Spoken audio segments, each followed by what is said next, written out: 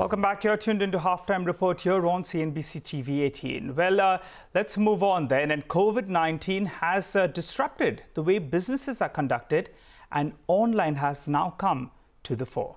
Here's the view coming in from uh, Mr. Chandrasekaran, chairman of Tata Sons, on the new digital world. COVID 19 could be a catalyst.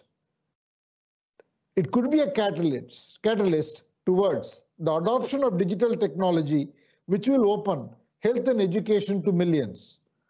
It could be a catalyst towards a more resilient economy, and it could be a catalyst towards a more sustainable future.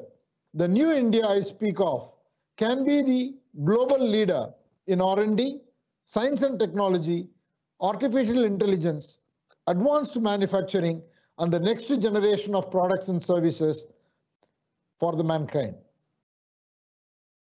Across the developing world, SMEs account for a one third of the private sector employment.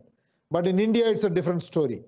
Only a little more than 10% of our employees are in a similar enter enterprises in India.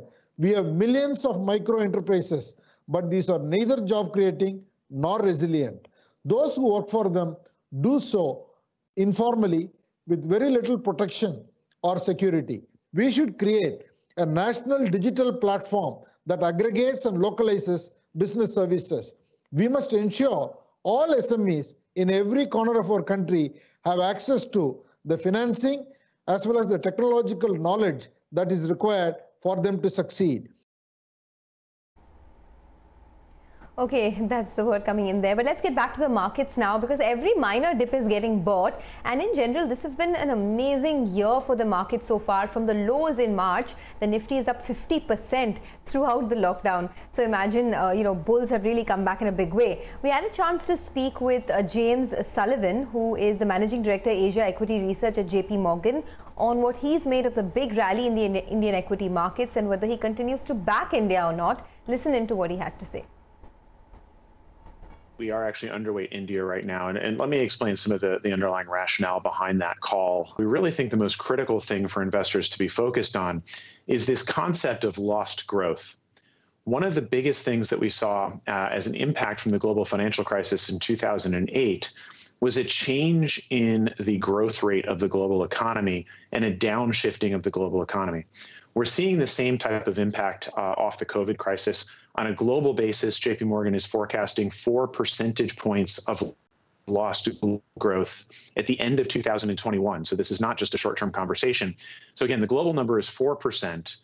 The lost growth for a market like China would be only 70 basis points. For India, that number is 9.8%. And so we do see a significantly shallower slope of growth for the Indian economy moving forward, which makes the valuations that we're looking at in the market somewhat challenging. This concept that liquidity should absolutely result in higher valuations. And I would challenge that pretty aggressively for the following reason. If you think about the way the math works uh, around a discount equation, um, to just go very quickly into the math, um, yes, the risk free rate is a component of that, but so is future growth expectation. And one of the things that we see going on in markets right now is this argument that lower rates mean higher valuations. The problem with that theoretically is it's failing to adjust for these lower long term growth assumptions. Why are rates low? Because we expect the global economy to grow at slower rates moving forward. So, as a result, actually, when you look at the underlying math of the situation, markets should not be trading at higher valuations solely on the basis of lower rates because we're effectively ignoring the other half of the coin, which is future expected growth rates. The IT services space is one in India that we remain positive on. The dislocations that we're seeing in terms of government shutdowns impact IT services far less, given a significant ability to work from home so that they're not losing access to their workforce. The complexity of operating environments for all large companies really encourages these IT services firms to, to have uh, larger contract opportunities moving forward. You also are seeing very clear idiosyncratic opportunities within certain industries. And I point to the telecom industry uh, as an opportunity as people look to move to more of a white box environment for 5G network infrastructure uh, environments that does offer an opportunity for very significant uh, service integration contracts uh, for the larger IT services firms in India. Well, Godrej Properties just came out with its set of numbers, and no surprises that it was a disappointment because the revenue numbers has come down sharply by more than 80%. Or in terms of EBITDA, it's a loss out there, and net uh, loss as well is something that they have reported. I think everyone knew that the last quarter was a washout, and the management commentary is going to be quite important. And have they seen some kind of traction on the ground? That's something that we'll be tracking for the time being. The stock is reacting to those numbers that were just flashed for you on the screen big degrowth in terms of revenue, and they reported a net loss as well. And that explains why the stock is at the low point of the day. Let's move on then. Sources tell us that telcos have written to the Department of Telecom seeking spectrum for 5G trials. Kritika Saxena, she's been on top of that. She's joining in to fill us in with all those details. Kritika? Hi Nigel. So the key point to understand over here is that the clarity sought at this point is for the 5G field network trials. The 5G field network trials have to happen for a significant tenure before they can even think of applying for 5G auctions. 5G auctions of course have been delayed but as far as this particular letter is concerned we understand that telcos are basically asking for clarity on when that spectrum will be available. Remember they had applied for the 5G trials back in December.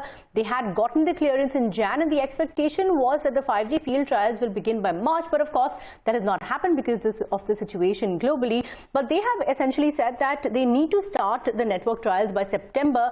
They need to do it for at least six to nine months before they can even start to think about auctions and they need that tenure. What they have suggested is that the uh, DOT give three bands first. So that is 26 gigahertz, 24 gigahertz and 3.5 gigahertz are the as these are the bands which require the most amount of testing and trials.